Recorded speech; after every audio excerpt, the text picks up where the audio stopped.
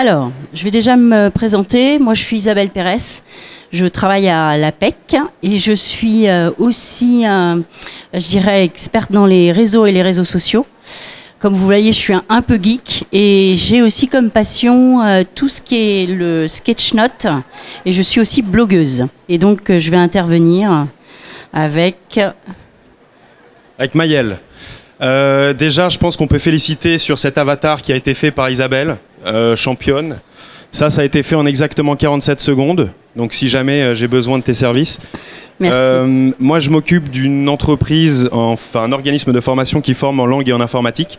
Et on m'a demandé d'intervenir parce qu'on a organisé dernièrement The English Club, qui est un programme pour demandeurs d'emploi, pour apprendre l'anglais, mais on a ajouté une petite dimension réseau à la chose. Euh, donc je vais surtout intervenir avec des petites anecdotes, des illustrations et aussi avec mon prisme de formateur, mais de golfeur pro, donc c'est-à-dire de sport de haut niveau. Alors déjà, euh, la stratégie réseau et e-réseau, euh, on va vous présenter en fait en sept points. Le projet professionnel, hein, vous verrez que le projet professionnel, c'est un point important. et puis, ce projet professionnel vous permet de rédiger une offre de service que vous proposerez aux entreprises. il est aussi question de votre marché, Hein, donc, euh, quatrième point, euh, où en êtes-vous de votre stratégie de veille? Avez-vous lancé votre stratégie de veille? Pour définir vos mots-clés et puis surtout, euh, comment vous gérez votre networking et comment vous allez le soutenir avec votre présence sur les réseaux sociaux. Alors, petit mot juste pour terminer l'introduction. Est-ce que tout le monde est clair au niveau de ce que c'est qu'un réseau? On est OK pour un réseau? Vous avez la définition de l'internaute ou pas? Moi, je l'ai prise avant de venir. Ensemble d'éléments de même nature reliés les uns aux autres. Donc des humains en l'occurrence. Ok. Moi, je vais vous donner juste pour commencer une petite anecdote du réseau parce qu'on n'a pas tous la même vision du réseau. Moi, avec mon éducation, le réseau était euh, dépeint comme quelque chose de négatif. Est-ce que c'est le cas pour certains ici? Une, une notion d'opportunisme? Un petit peu? Bon, moi j'avais un peu cette, idée-là. Ma femme, qui vient pas tout à fait du même milieu, elle a grandi avec. C'était naturel cette démarche pour elle. C'est-à-dire que continuellement, tout au long de sa vie, que ce soit au collège ou au lycée, elle avait ses réflexes, ses réflexes réseau dont on va vous parler ce soir.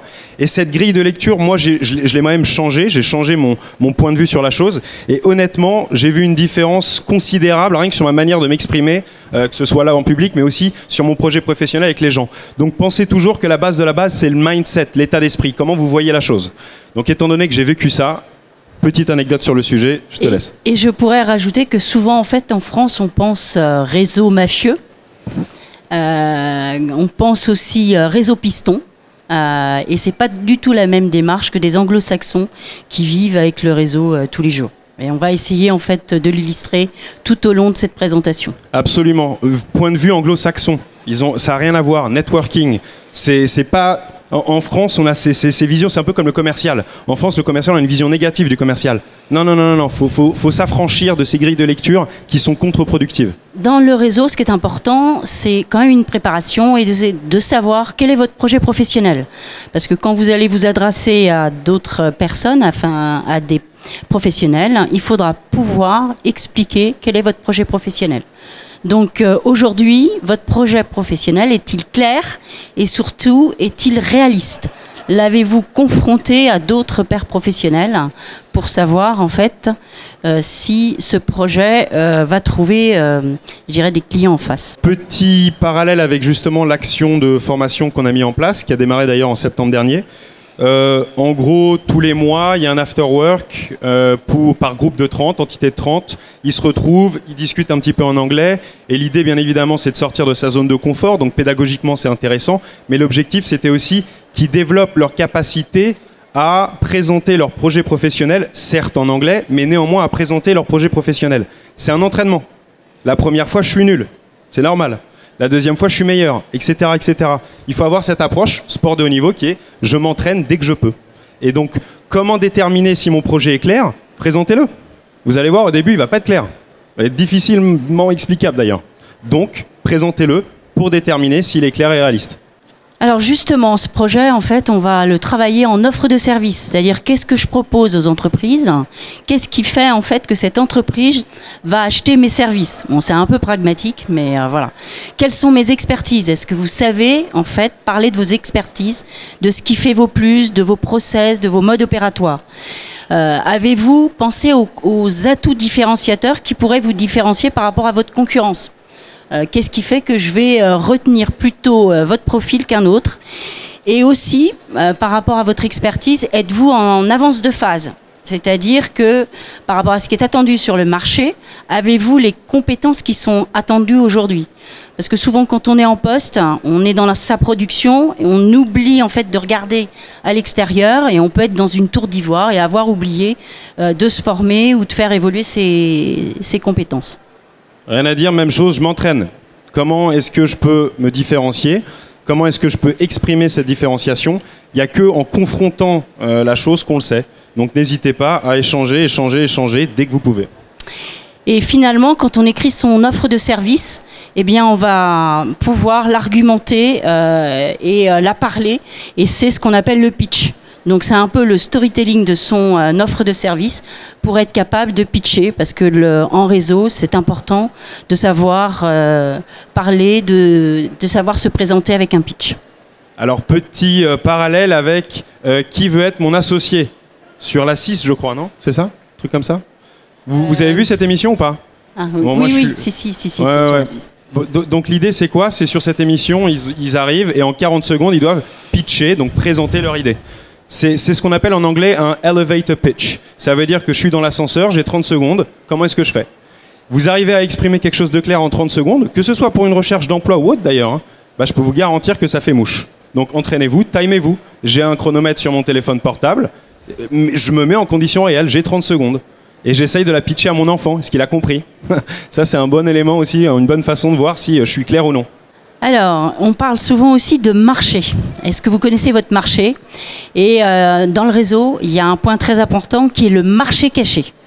Euh, le marché caché, c'est une possibilité euh, de récupérer des opportunités, de trouver des opportunités. Donc, travailler son marché caché, c'est aussi euh, je dirais, identifier les entreprises qui pourraient euh, avoir besoin des mêmes opportunités et penser systématiquement que quand vous répondez à une annonce et quand vous avez identifié une cible, peut-être que sa concurrence sur le marché caché a les mêmes opportunités mais pas les mêmes façons de faire du sourcing. Donc ça peut être une manière aussi euh, d'identifier des cibles sur ce marché. Anecdote. Pour le coup, pas forcément recherche d'emploi, néanmoins, quand on est euh, commercial et qu'on doit vendre ou qu'on recherche un emploi, grosso modo, c'est la même chose. Je dois séduire mon interlocuteur, je dois trouver mon interlocuteur, etc. etc. Marché caché, je prends l'ascenseur, j'ai 30 secondes avec mon voisin à qui je n'ai jamais parlé, je parle de ma boîte, de ce qu'elle fait. L'année dernière, je signe mon plus gros contrat ou mon deuxième plus gros contrat de l'année. Marché caché, c'était mon voisin, il de palier, c'est-à-dire il était en face de chez moi. Si ça se trouve, il a un job. C'est la même chose. Et moi, j'ai une autre anecdote. Je suis allée en fait sur le salon euh, du e-learning là il y a quelques semaines, et je vois quelqu'un en fait. Vous savez, vous passez dans les stands et j'ai quelqu'un qui me fait ça. Je dis moi, et il me dit oui, oui. Puis il se rapproche de moi, il me dit bon, j'ai mes collègues qui me qui m'embêtent un peu. Euh, faites comme si vous me connaissez. Et en fait, on commence à discuter, et j'avais une, amie avec qui je faisais le salon qui arrive, et euh, il lui dit mais vous la connaissez? Bah oui, elle fait partie de mon réseau. Et en plus, elle fait même partie de la avec du réseau de la personne que avec qui vous avez échangé ce matin. Donc comme quoi, le réseau, il est euh, vraiment, il y a des interconnexions. Et donc on a commencé à discuter. Bon, moi je suis une passionnée de sketchnote numérique, et c'est avéré que lui aussi. Donc on a partagé. Euh, j'ai partagé et publié sur mon réseau social en le taguant, c'est-à-dire qu'il a reçu une notification. Donc on a fait pas mal d'engagement. Et là, il y a quelques jours, j'ai reçu un message de sa structure me demandant si je voulais pas intervenir pour un workshop. Donc vous voyez, c'était simplement euh, un petit coucou dans un salon professionnel où j'ai commencé à jouer le jeu et puis finalement on s'est aperçu qu'il y avait des, euh, des interconnexions. Donc c'est ça aussi le réseau. C'est parfois en fait on fait des choses et euh, le, job est pas très loin ou la mission est pas très loin. Et c'est pas une obligation. Faites-le à votre manière. C'est pas en mode oh là là, je dois aller chasser, etc. Moi, ça se trouve, ce que j'aime faire, c'est en parler autour d'un bon verre de vin ou j'en sais rien, discuter un petit, un petit coup avec un pote en rigolant. C'est ma manière d'être, un peu authentique. Il y en a d'autres, peut-être, ils veulent chasser. Mais si c'est pas votre façon de faire, faites-le à votre manière. Sinon, de toute manière, ça sera pas productif. Une autre anecdote aussi, je me suis retrouvée un jour dans une queue d'exposition où j'étais euh, assez pressée parce que j'avais raté euh, la rentrée, j'avais oublié mon billet. Et en fait, je me retrouve à côté de quelqu'un qui avait l'air d'être assez énervé. Je commence à discuter avec lui et il s'est avéré qu'en fait, il faisait partie de la même structure où j'avais travaillé euh, quelques années plus tôt et on a discuté pendant 20 minutes de mobilité RH parce que je suis une ancienne RH et, c'était un directeur de production. Donc euh, avec peut-être une mission à la clé. Bon, ce jour-là, j'étais pas encore assez réseau, j'ai pas su euh, capter la, mission. Mais simplement pour vous dire, même dans une queue d'exposition, le fait d'échanger avec les personnes, ça peut ouvrir des opportunités. Et là, on est vraiment hors professionnel. Alors, euh, on revient en fait sur le marché. L'exploration du marché, c'est aussi d'identifier ses cibles. Euh, donc, où en êtes-vous? Euh, Est-ce que vous avez pensé à votre veille terrain? Aujourd'hui, on est sur un salon plutôt recrutement, mais pensez à tous les salons professionnels que vous pouvez faire sur, je dirais, les produits, les, les, secteurs d'activité qui vous intéressent. Est-ce que vous avez, je dirais, créé votre agenda de euh, de salons professionnels, hein, tous ceux qui vont se dérouler, ou des événements qu'on peut trouver sur, euh, sur les meet-up, ou euh, moi je, travaille aussi beaucoup sur la plateforme Eventbrite, parce que vous avez souvent des événements intéressants sur, sur vos métiers. Donc ce sont des éléments qui vous permettront d'aller faire du networking et de rencontrer des pairs professionnels et d'échanger justement sur votre marché. Instant sport de haut niveau, discipline. Pareil, l'Eventbrite et compagnie machin. Enfin, moi avant, je regardais absolument pas. Ensuite, j'ai commencé à être motivé. Je me suis instauré une discipline. Tous les lundis matins, je vais checker. Et c'est aussi simple que ça. C'est juste qu'il faut se créer des habitudes. Donc, par semaine, par exemple, par jour, ça dépend de, de, l'envie présente, pressante de trouver un marché ou un emploi ou ce qu'on souhaite. Mais discipline, c'est tout. Et juste pour rajouter un petit point, c'est pas quelque chose qu'on arrête quand on a trouvé un job. C'est-à-dire qu'il faut toujours faire un peu de networking euh, et de réseau. On n'arrête pas le réseau quand on a trouvé un job, quoi. Euh, ça permet de rencontrer d'autres personnes, de prendre de la distance par rapport à son métier et peut-être de trouver l'opportunité euh, pour la prochaine fois. Et au niveau, cette fois-ci plutôt commercial, on part toujours de la cible si on cherche un emploi, on part de la cible. Qu'est-ce que la cible veut entendre? Et là, maintenant, je fais l'instant psy. Ça n'est pas de la manipulation. C'est simplement de la pédagogie. Comment est-ce que je fais pour que mon message soit reçu? C'est pas de la manipulation. Quand moi, j'ai un élève, je suis encore formateur, je garde encore 5 heures par semaine. À chaque fois que je forme quelqu'un, il faut que mon message soit délivré de façon adaptée. Je ne l'ai pas manipulé. J'ai fait en sorte qu'il ait compris. C'est différent. Alors, avez-vous lancé votre stratégie de veille? On a vu tout à l'heure qu'on parlait de veille terrain. Euh, là, en fait, quels sont vos mots-clés? Important euh, d'avoir euh, les mots-clés de son métier, de son marche, de son métier, de son secteur d'activité ou de certaines méthodes de travail. C'est ce qui vous permettra en fait de construire une ligne éditoriale sur les réseaux sociaux et de pouvoir partager et publier, mais on y reviendra tout à l'heure. Donc, euh, là, en fait, si je pense euh, veille digitale, eh bien, euh, ces mots-clés, je vais les passer en fait dans les moteurs de recherche Hein, euh, notamment, bon, euh, vous avez Google, euh, mais il peut y en avoir d'autres. Est-ce que vous avez pensé à lancer des alertes Google? Vous savez, c'est une fonctionnalité de Google qui vous permet de récupérer les sites, les blogs, les micro-influenceurs, parce que ce sera important dans votre veille de les suivre, d'avoir aussi des articles à partager. Et puis, on peut aussi les rechercher dans les réseaux sociaux, parce que maintenant, je ne sais pas si vous avez vu le hashtag de LinkedIn qui permet, en fonction d'une thématique, de suivre un, certain nombre de sujets. Et puis, si vous publiez, il faut en fait utiliser ces hashtags parce que ça vous permet d'être agrégé dans le fil d'actualité. Euh, et vous avez la même chose sur Facebook. Par exemple, si vous suivez des MOOC, je ne sais pas si vous suivez des MOOC. Euh, mais souvent, euh, les Facebook Live sont dans des comptes privés qui sont des comptes privés Facebook. Donc ça vous permet aussi d'échanger euh, sur les mêmes problématiques et d'apprendre. voilà. Instagram, je ne sais pas qui suit Instagram, mais alors le hashtag sur les Instagram est hyper viral et ça vous permet aussi d'avoir des tendances, de récupérer.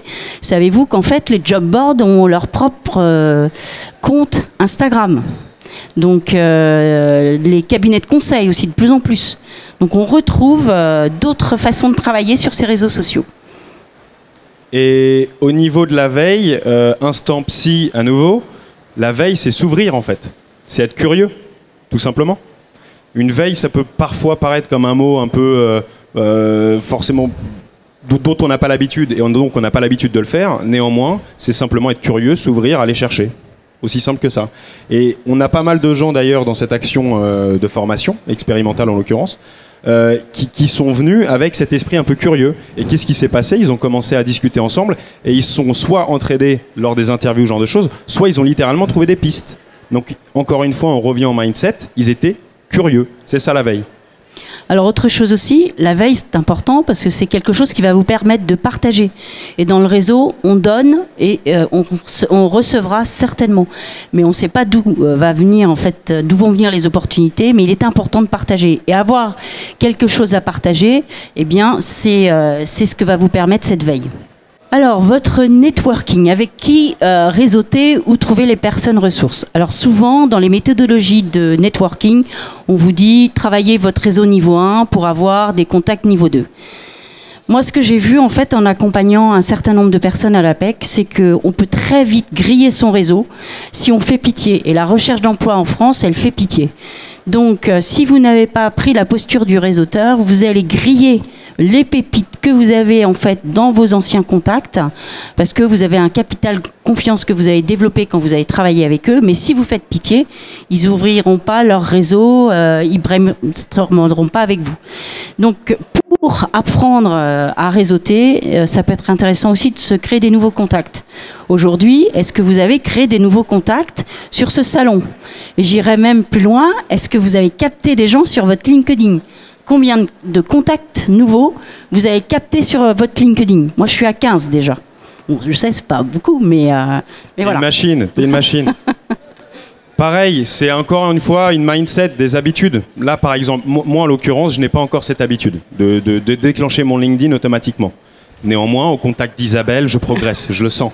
Mais c'est, créez-vous ces habitudes. C'est aussi simple que ça. C'est à nouveau discipline. Instant sport de haut niveau, discipline. Je suis là, j'hésite pas à parler de mon LinkedIn. J'hésite pas à, à demander euh, en connexion, en contact sur LinkedIn ou Facebook différentes personnes. Ça n'est pas mal pris. Ça n'est pas mal pris. On peut imaginer, oulala, je sais pas comment il va répondre et compagnie. Faut oublier ces barrières psychologiques. Pourquoi? Parce qu'on est tous sur le même bateau. Tout le monde, même ceux qui sont en emploi, ils ne savent pas de quoi demain sera fait. Une demande LinkedIn, d'ailleurs, en neurosciences, comme un- une demande Facebook, c'est une décharge de dopamine. C'est-à-dire que je vois ça, il m'a ajouté, je suis content. Donc n'hésitez pas à dégainer, encore et encore, et à en faire une habitude. Alors, lanciez vos entretiens réseau. Alors moi, ce que j'ai vu aussi, ce qui est beaucoup plus facile quand on est, euh, par exemple, sur un salon professionnel, plutôt que de prévoir euh, l'entretien réseau plus tard, c'est carrément de le faire sur place. Un entretien réseau, c'est une vingtaine de minutes à 45 minutes où on va échanger avec des pairs professionnels pour sentir les pistes, euh, les évolutions et peut-être des opportunités. Donc, n'hésitez pas à faire vos entretiens réseau sur les salons professionnels ou sur les salons. Petite anecdote, non Non, mais en fait, j'aurais la même à nouveau euh, avec notre English Club, euh, avec la notion pour le coup de bienveillance euh, que je pourrais rajouter. Tout le monde est arrivé un peu avec le même état d'esprit, donc moi j'en mets juste une couche. Dites-vous que les gens sont bienveillants aussi. Il n'y a pas de jugement. Euh, c'est pas évident, c'est une vraie barrière à franchir. Mais une fois qu'on se le répète suffisamment, méthode Coué tous les matins, le réveil, au lieu que ce soit Rihanna qui chante, c'est tout le monde est bienveillant, pourquoi pas, hein et ben à ce moment-là, vous, vous franchissez les barrières. Alors, votre networking, quelle posture euh, adapter en networking?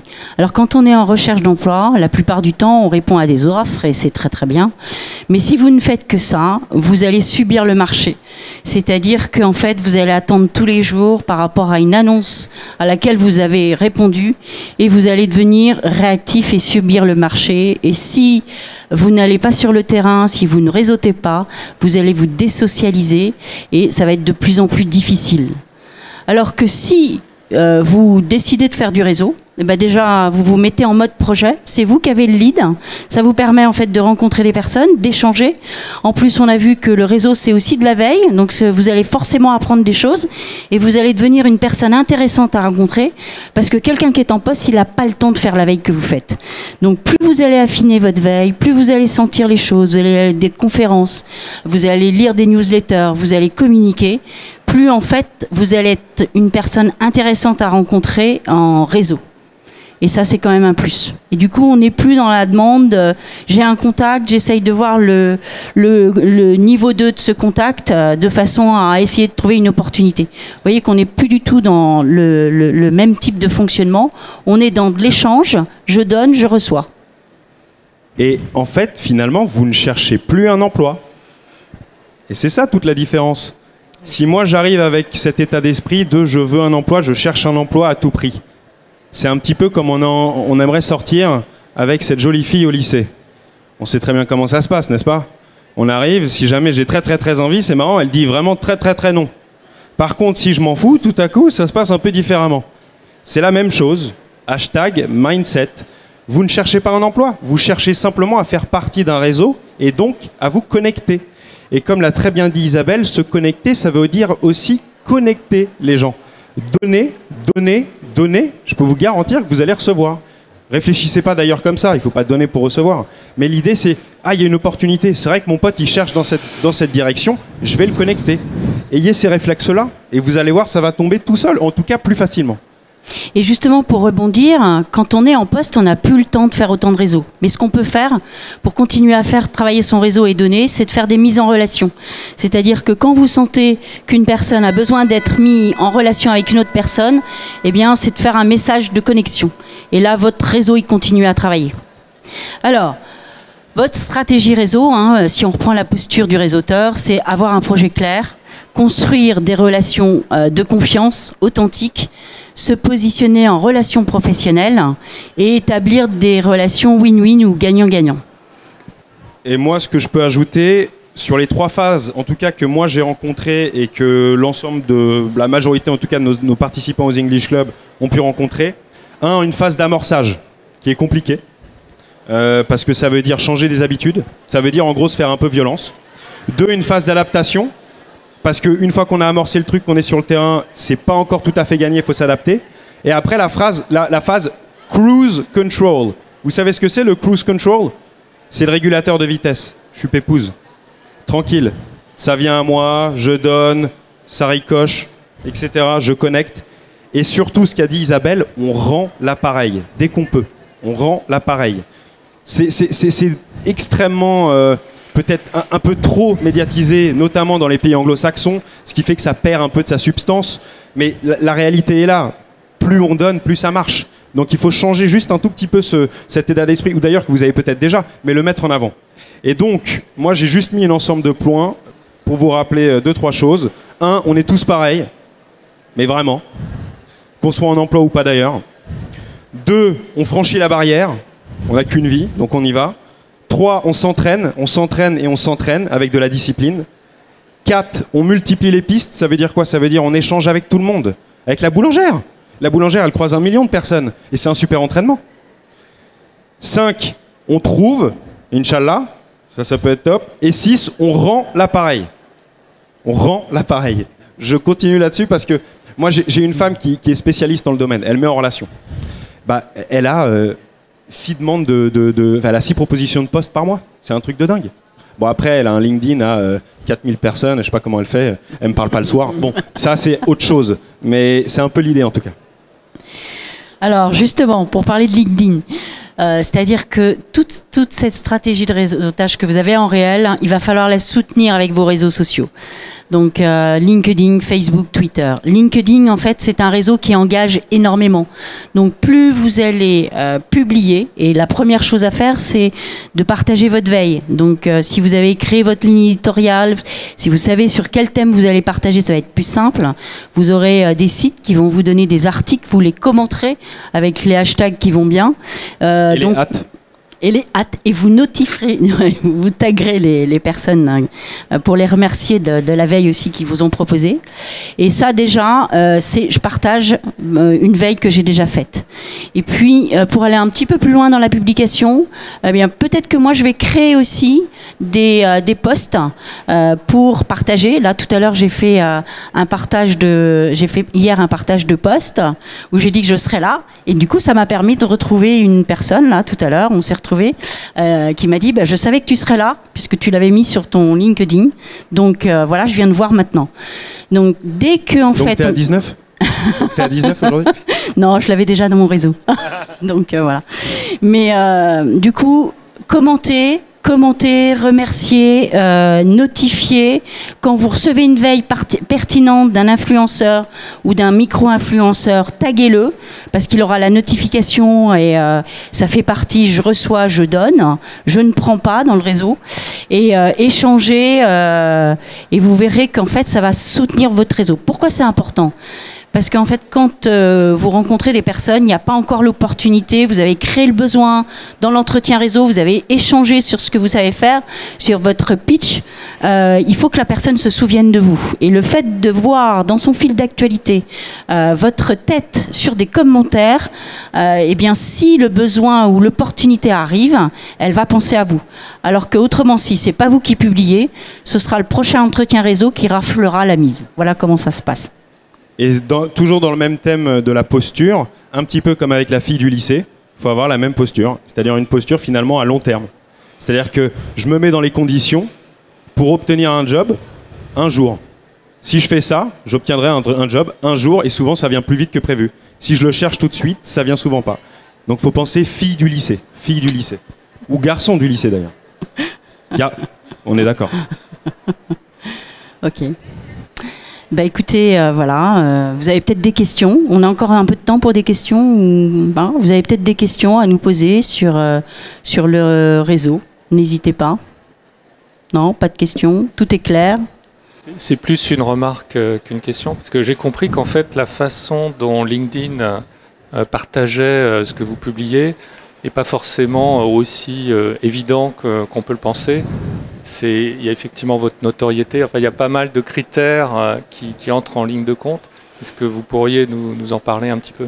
C'est-à-dire que euh... ben, c'est qu'en fait, euh, LinkedIn il surveille un petit peu euh, si vous publiez beaucoup, comment vous publiez, etc. Mm. C'est pas parce que je publie que c'est forcément visible de toute la planète. Ouais. Alors déjà, déjà une chose, non c'est vrai, mais déjà c'est votre communauté. Votre communauté, en fait, c'est les gens que vous avez intégrés dans votre réseau. Euh, et déjà, cela, c'est important en fait qu'ils aient aussi euh, votre, vos publications. Après, c'est vrai que les publications avec les hashtags peuvent, euh, je dirais, toucher des personnes qui sont hors de votre réseau. Donc ça, c'est un plus. Et puis surtout, un recruteur qui scrolle votre profil, qu'est-ce qu'il va aller regarder? Il va aller regarder en fait comment, euh, comment vous avez intégré les compétences digitales. Si votre profil, vous savez ce que c'est qu'une bannière, euh, une photo proactive, euh, un, une baseline qui est bien écrite, des infos, etc.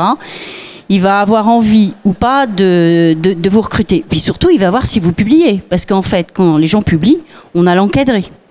Et euh, on a la possibilité aussi, en allant regarder, de voir les contenus, comment vous travaillez. Donc c'est aussi des informations que vous donnez à voir aux recruteurs qui vont euh, scroller votre profil. Et s'ils avaient à choisir entre un profil qui publie pas, qui est pas digital, et un profil qui est digital, moi je suis sûr qu'ils choisiraient celui qui a les compétences digitales. Pourquoi? Parce que ça veut dire que vous êtes curieux, que vous continuez à avancer, que vous continuez à apprendre et que c'est des compétences que vous, euh, vous allez euh, apporter à l'entreprise. Encore une fois, une illustration de votre mindset. C'est un peu l'idée. Et après, par rapport à votre question, moi je dirais, parce que je suis loin d'être euh, aussi calé qu'Isabelle au niveau digital, je dirais step by step. Euh, C'est-à-dire que si on, si on, commence à se demander comment LinkedIn fonctionne, comment Facebook fonctionne, etc., etc., euh, et à un moment donné, en fait, on, on fait pas le premier pas. Et, euh, c'est toujours la même chose. Faut, faut un premier objectif atteignable, on l'atteint. Deuxième objectif atteignable, on l'atteint. Donc là, c'est l'instant euh, sport de haut niveau euh, à nouveau, mais c'est un peu l'idée. Et moi, je commence maintenant, alors que j'ai une activité LinkedIn depuis un certain temps, avec ma très chère, mon bras droit communication qui est ici présent ce soir, enfin aujourd'hui, je commence à regarder quand est-ce qu'il faut publier. Parce qu'apparemment, il y, a des- il y a des moments sur LinkedIn pour, pour publier. Sur Facebook, pareil. Pour Instagram, pareil. J'ai cru comprendre que Facebook, c'était le dimanche matin. Où, euh, parce que justement, les gens, ils, se levaient et ils chillaient et donc ils scrollaient. Bon, tous ces mots-là sont dans le dictionnaire maintenant, pour info. Euh, en tout cas, step by step. Oui, alors le, le- le mardi et le jeudi pour LinkedIn, c'est pas mal. Euh, le dimanche soir aussi, parce que les gens se reconnectent, vous savez, à 17h, 18h. Et, euh, et les horaires, c'est avant 9h, parce qu'en fait, on regarde son LinkedIn euh, avant d'aller au bureau, entre midi et 2, et entre 17h30, à partir de 17h30.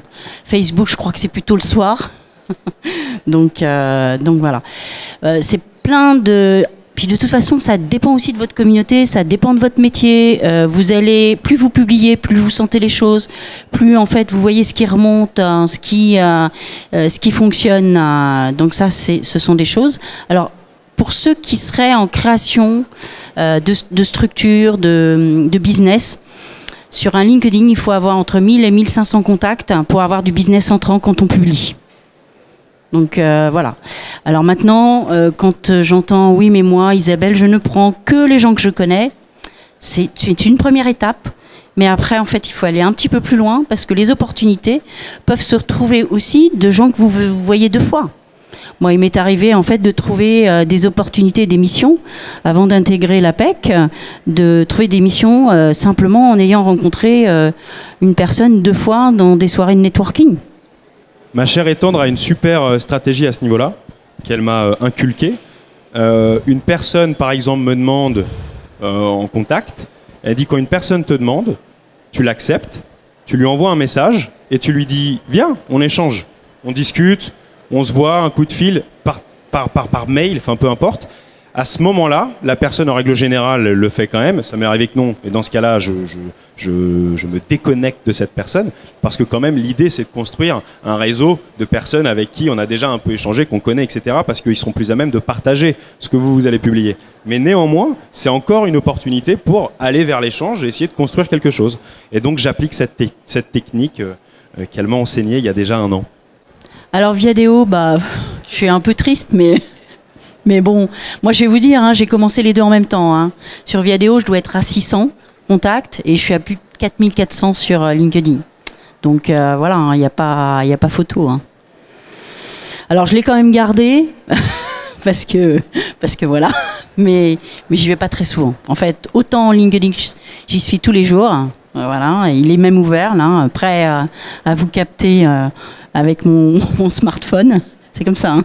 D'ailleurs, vous avez un QR code, je ne sais pas si vous avez vu. Euh, Quand vous êtes dans les salons, en fait, vous pouvez euh, capter la personne rapidement avec un QR code. Donc, c'est quand même euh, assez simple. Et, euh, et vous pouvez le faire en face à face. Mais c'est vrai que Viadeo, je crois que je ne l'ai pas ouvert depuis un mois. quoi. C'est un peu une catastrophe. quoi. C'est J'ai- dommage. hein. J'ai essayé en rendez-vous, euh, j'ai pas de carte de visite mais un QR code. Bon, tout le monde n'est pas encore euh, au point à ce niveau-là, donc il faut quand même être prêt à donner son numéro. Non, mais sur LinkedIn, t'as- dans la fonction recherche, tu sais, tu as le QR code, tu vas ch- chasser sur le profil de l'autre. Non, bon. ouais, Ouais, c'est- non, mais, bon. mais en avance de phase, tu sais, avance de phase. Pardon. Mais, mais par rapport au, au- à Viadeo, LinkedIn, etc., malheureusement, les réseaux sociaux en règle générale ont des tendances monopolistiques. C'est-à-dire que euh, on va aller là où il y a le plus de monde. Donc c'est un combat un peu perdu d'avance, sauf si euh, on se met tous cocorico, on envoie du lourd. Et, et- mais je- honnêtement, j'y crois pas trop. En fait, euh, ce qui peut être intéressant, c'est parce que déjà, vous, on parle beaucoup de LinkedIn, mais a- vous avez mis Facebook aussi, Twitter, donc il y a peut-être différentes stratégies en fonction des, réseaux. bah, il faut jamais mettre tous ses œufs dans le même panier, on est d'accord. Et puis, parce il peut y avoir des niches aussi, c'est-à-dire Oui, que certains bah, sûr, réseaux qui sont plus mieux positionnés sur tel ou tel. Alors pourquoi, pourquoi je vous parle de Facebook? Parce que Facebook, peut-être euh, que en fait, de plus en plus, on fait aussi, on pousse la publication des entreprises dans laquelle on est. Alors, on peut le faire à 10% hein, sur son réseau, mais, euh, mais en fait, avoir un profil euh, Facebook, si vous êtes sur une activité où la page Facebook est euh, hyper développée sur votre entreprise, bah, ça peut être quand même un plus parce que de temps en temps, de pousser, d'avoir un profil qui est bien renseigné, voilà. Twitter. Alors moi, j'adore Twitter. J'en parle pas trop, mais c'est un outil d'automatisation de veille extraordinaire. C'est-à-dire qu'en fait, vous pouvez créer des listes, euh, vous pouvez faire de la veille concurrentielle hein, sans que votre concurrence le, sache. Euh, vous avez aussi euh, 220 000 offres qui sont tweetées par euh, un minimum de 220 000 offres qui sont tweetées par euh, euh, par mois. euh, et qui vous ramènent au site institutionnel. Donc, si vous avez des cibles que vous aimez vraiment, bah, ça vaut peut-être le coup de faire une petite liste privée. Et comme ça, le soir, je rentre, je, je regarde si j'ai pas loupé une alerte de ma cible bien aimée. Non, je plaisante, mais voilà. Euh, donc, euh, et c'est là d'ailleurs que moi j'ai appris que Viadeo avait été racheté par euh, Figaro Classified parce que c'était en fin d'année, parce que ça buzzait tellement sur Twitter que j'ai pas pu passer à côté de l'info. Donc euh, Twitter, on est toujours un petit peu en avance. Et puis par exemple, si vous êtes dans un événement, vous avez le hashtag de l'événement, ça vous permet de faire du réseau en ligne. C'est-à-dire que tous ceux qui vont tweeter euh, sur l'événement se captent des personnes parce qu'on se suit euh, très facilement. Donc c'est aussi une autre possibilité de faire du réseau. Euh, voilà. Et n'oubliez pas les réseaux physiques. Alors c'est un petit peu plus difficile, bien évidemment, parce qu'on n'est pas derrière son ordi, on peut pas le faire de n'importe où et compagnie. Mais moi, pour ma part en tout cas, quand je me suis lancé dans mon aventure, j'avais besoin d'être accompagné. On se sent assez vite seul. Moi, j'étais donc j'arrêtais ma carrière pro. Fallait que je trouve donc un emploi. J'avais deux options. Et à ce moment-là, j'ai eu l'intuition, peut-être, je sais pas, de me dire, je vais aller me connecter avec des gens qui s'y connaissent mieux. Et j'ai intégré un réseau qui s'appelle le CJD en l'occurrence. Et c'est pas du tout un réseau commercial pour le coup. C'est-à-dire que les gens ne, ne- ne cherchent pas à vendre ou ne cherchent pas des emplois. On s'entraide. C'est-à-dire que j'ai cette problématique. Il y a un truc que j'adore qui s'appelle une commission découverte pro. Ça a lieu une fois par mois. Il y a une personne qui vient avec une problématique. On est 5-6. Il nous fait sa présentation et derrière, on débat. On réfléchit. Comment est-ce qu'on peut l'aider? Et il y a zéro business dedans. Et tous ceux qui y vont, ou en tout cas, il y a d'autres réseaux aussi, s'en portent 100 fois mieux après. Parce qu'ils ont trouvé des pistes, ils ont pris des habitudes, ils réfléchissent autrement. Donc, les réseaux digitaux, à fond, les réseaux, les réseaux physiques, faut surtout pas les mettre de côté. Alors pour rajouter quelque chose, euh, c'est vrai que tu as raison. Moi j'ai fait partie de réseaux professionnels. J'ai été au GARF, là je suis à la NDRH. Euh, j'ai aussi, aussi dans pas mal de réseaux euh, de recherche d'emploi. Parce qu'en fait, dès que vous partagez, à chaque fois on m'a demandé de partager sur euh, LinkedIn. Donc je suis venue avec ma presse, ça demande du travail, mais euh, j'ai fait une presse pendant ce que je suis en train de faire là aujourd'hui. Et quand vous êtes dans ces réseaux-là, c'est très facile de capter euh, des entretiens réseau parce que les gens viennent à vous tout simplement parce que vous avez été visible et que vous avez donné. Donc à chaque fois, vous récupérez 15 à 20 contacts qui veulent échanger avec vous, euh, s'entretenir avec vous. Donc euh, c'est plus facile que l'appel réseau. Euh, parce que, et d'ailleurs, moi, je n'ai jamais fait d'appel réseau. C'est-à-dire qu'à chaque fois que je vais dans un réseau, donc je change, euh, à chaque fois que je vais dans un réseau, je donne par rapport à mon expertise. Et, euh, et à ce moment-là, je capte du réseau facilement. Je disais que moi, je repartais démoralisée parce qu'il y a plein de vocabulaire que je ne connais pas. Euh, je me sens encore plus vieille que je ne suis. Enfin, voilà quoi. Alors, pour répondre à ça, je- j'entends bien. Pour répondre à ça, euh, oui, oui, oui, mais pour répondre à ça, c'est une démarche, qui se fait petit à petit. Moi, quand j'ai fait un burn-out euh, à un moment donné, je suis sortie, j'avais même pas de mail perso. J'avais même pas de PC perso, je savais pas ce que c'était. Et donc j'ai appris au fur et à mesure. Euh, simplement, ce qu'on est, euh, ce qu'on essaye de, vous expliquer, c'est que moi je sais que dans ma structure à l'APEC, on vous aide pas à pas. Là, en fait, on vous a fait un résumé. C'est une conférence qui est bien en avance, mais euh, en fait, on vous aide pas à pas à construire votre stratégie réseau. Il y a des ateliers qui sont faits pour ça, pour apprendre à pitcher, pour apprendre à se démarquer. Non, pré- se présenter, se présenter, se présenter. Vous avez raison. Euh, oui, non, mais vous avez avez raison. On, on eut- Vous avez raison. Et Non, mais vous avez raison. et il y a des gens qui. Et vous savez quoi? Il y a des gens qui postent sur Internet qui, tous les anglicismes. Et vous Ouais, tapez ouais. anglicisme fréquent. Non, mais je vous en prie. Allez sur Google, tapez anglicisme fréquent et vous allez avoir une liste. J'avais peut-être envie d'apprendre autre chose que des mots, euh, des publicismes, Alors, des- oui, ouais, bon, c'est peut-être les mots, mais, euh, mais, mais ce qui est important, c'est que moi, ça me semblait important de, de partager euh, ma stratégie réseau, parce que vous voyez, je suis sortie à 48 ans euh, pour, en, en tant que RH, j'ai pas retrouvé, j'ai pas retrouvé via les offres, je n'ai retrouvé que en réseau réel, en rencontrant des personnes, en échangeant, euh, voilà. Donc euh, parce que dans le métier de RH, c'est très très concurrentiel et qu'à un moment donné, pour manger, il faut euh, il faut peut-être faire autrement que de répondre à des offres. Si les offres ne marchent pas, qu'est-ce que je fais? Comment je fais? Donc euh, se préparer, aller rencontrer les personnes, échanger sur son métier, donner envie, euh, donner envie de se faire euh, recruter, c'est quand même euh, une démarche euh, qui se fait beaucoup, dans beaucoup de pays, mais pas forcément en France, euh, qui se fait par exemple chez les anglo-saxons, hein, qui, qui travaillent en fait qu'en réseau. Et il y a des métiers où, on, par exemple, des journalistes eux, leur, euh, leurs opportunités, ils les trouvent euh, par réseau. Donc, euh, apprendre d'autres méthodes de travail pour trouver un métier autrement, euh, le réseau peut vous l'apporter. Voilà. Je vous remercie. La présentation, m'a beaucoup marqué. Enfin, il y a plein d'éléments. Je repars avec plein de choses à faire. Et je me demandais un peu plus comment créer mon réseau physique. euh, comme vous parliez du groupe euh, en anglais euh, tout à l'heure. Alors, euh, créer son réseau physique, ça peut être euh, de se dire, bah tiens, il y a des conférences que je peux aller suivre, Euh, il y a des salons professionnels. Je suis sur un secteur d'activité, ça peut être, par exemple, si je suis dans la déco, il y a peut-être un salon de la déco. Est-ce que j'ai pensé à faire ma carte de visite simplement pour aller discuter avec des gens qui font le même métier que moi, euh, où je vais euh, leur demander leur vision du métier. À la PEC, en fait, on a des fiches où euh, on vous aide à préparer vos entretiens réseau, vos enquêtes métiers, euh, parce que c'est vrai qu'il y a un travail de préparation euh, à faire. On vous apprend à préparer votre présentation euh, pour dire ce que vous savez faire. Et euh, donc le salon professionnel est une première démarche, et ça permet de sentir. Après, c'est de se dire aussi, il y a des livres qui sont sortis sur votre métier, est-ce que vous les connaissez? Est-ce que vous êtes allé par exemple dans une librairie? Hein Moi j'adore la librairie euh, Hérold euh, qui est vers euh, Saint-Germain-des-Prés, il y a aussi euh, Gibert, etc. Ça permet de regarder euh, le livre, de regarder les paragraphes où euh, il y a des choses innovantes sur votre métier. Donc ça, c'est déjà des infos euh, qui sont intéressantes. Et puis, est-ce que vous avez regardé les fédérations? De votre métier, de votre secteur d'activité Souvent, en fait, euh, vous avez des abonnements qui sont moins chers pour les gens qui sont en recherche d'emploi. Euh, et ça vous permet euh, d'avoir des groupes de travail. Il y, a, en fait, les gens se réunissent au moins une fois par mois, donc on, échange, on peut se faire aussi coopter. Donc ça, c'est une, ce sont des démarches. Et, marché caché, à nouveau.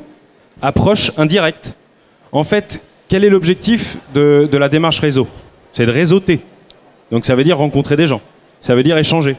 Donc si jamais je m'inscris à une association de pâtisserie ou euh, un English Club, en l'occurrence, puisque c'est ce que je fais, ou euh, une association de macramé, eh ben, si ça se trouve, je vais discuter avec quelqu'un qui fait du macramé et cette personne est en recherche de tel poste parce qu'elle a sa boîte. Donc, pensez à la fois, comme l'a bien dit Isabelle, une approche directe avec les salons professionnels, les fédérations, peut-être euh, taper réseau avec le nom de votre euh, fonction ou de votre. Parce qu'il y a des réseaux RH par exemple, le nom euh, de votre métier, etc. Une approche directe, c'est très important. Et faites en parallèle une approche indirecte. Parce que et donc, je vais ravir madame avec euh, une expression en anglais, mais que je vais traduire ensuite.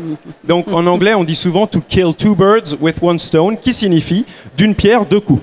Eh bien, tout simplement, moi, quand par exemple, j'ai cette réflexion-là d'une pierre, deux coups, et que je vais dans un réseau qui n'a rien à voir avec mon objectif, mon, mon premier objectif, passer un bon moment.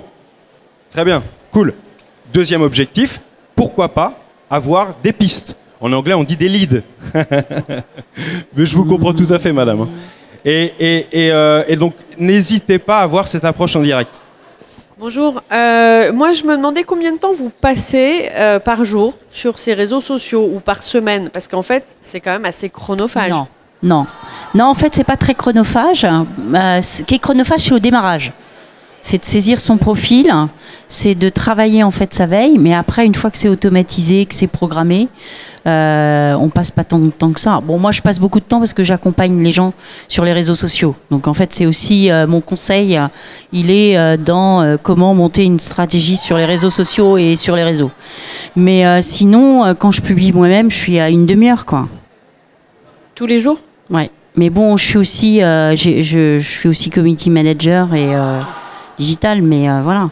Mais c'est pas tant, tant que ça. Et par exemple sur Twitter, bah, si je publie pas pendant une semaine, bah, je publie pas. Et là, sur LinkedIn, j'ai publié juste un post cette semaine, bah, ce sera qu'un post et c'est pas grave.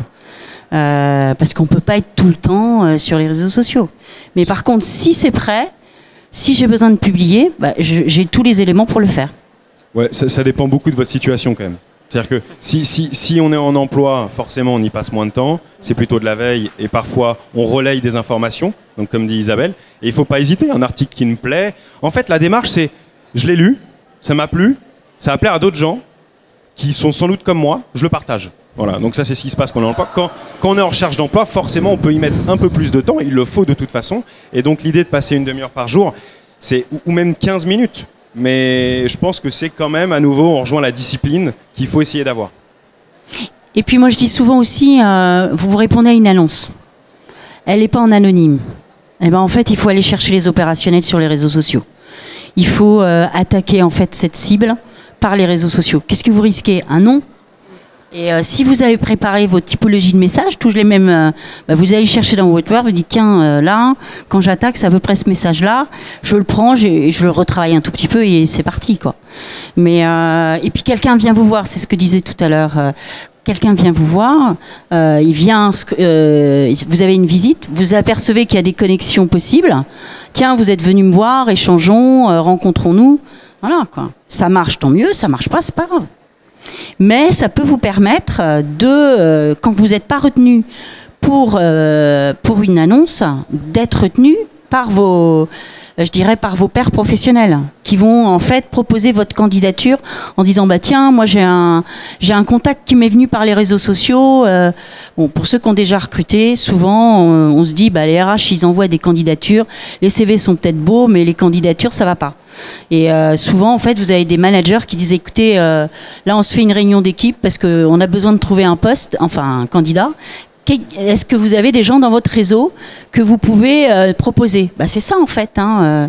donc euh, le, fait d'aller contacter l'entreprise, c'est d'arriver par un autre système de sourcing.